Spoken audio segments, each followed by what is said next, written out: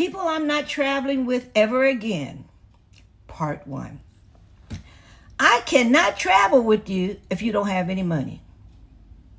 Why did you come on this trip when every time we get ready to go to some dinner or or some excursion or some function and and you're like I don't I don't know if I'm I'm gonna be able to uh, go because my money's kind of funny. Why did you come on vacation if your money was funny?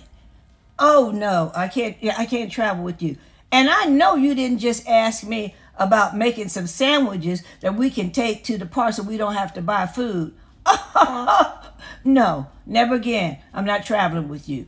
Number two, I'm not ever traveling with that negative person.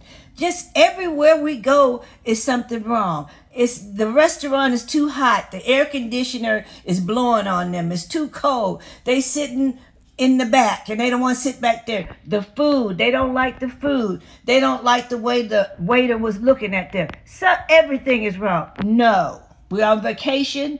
I'll never travel with you again.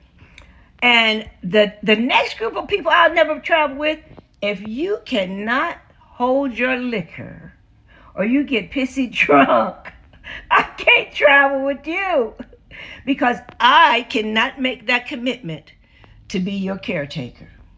uh-uh. You you fall overboard if if you do. If it happens, I'm going to be with everybody else with that little flashlight looking out there saying, I think I see her. I, I think I do.